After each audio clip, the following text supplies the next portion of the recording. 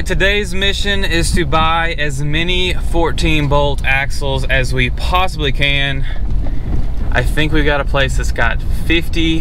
The only problem is they weigh about 500 pounds a piece and we have two trailers and they max out one at about 14, or they're both about 14,000 pounds. So if you do the math, 50 axles is way more than that. So wish us luck.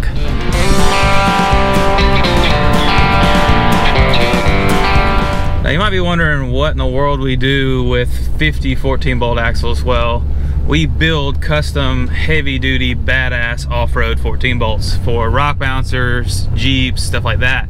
And in order to do that, we need old center sections that we can take, cut, retube, and build into Billy Badass axles, and then uh, sell them at our shop. So, we just ran out, and we have orders coming in every day, so uh, we left about 6 o'clock this morning from the shop, and now we're gonna see just how many of these axles we can pick up. Uh, we're about two hours from the house and uh, we need to be back by lunch. So here we go.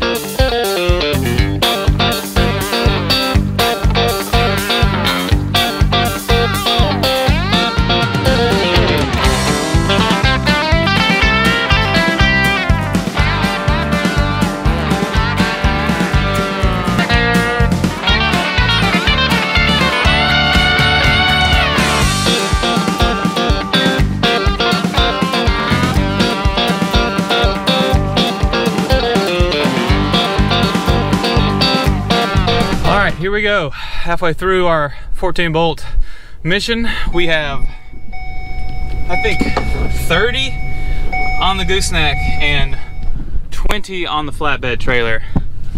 Lots of 14 bolts. Basically every one of them this place had.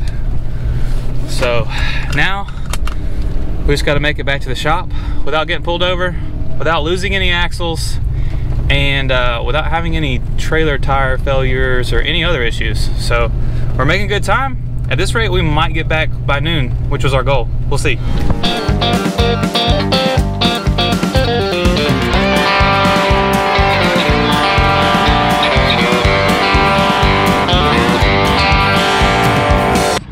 All the 14 bolts.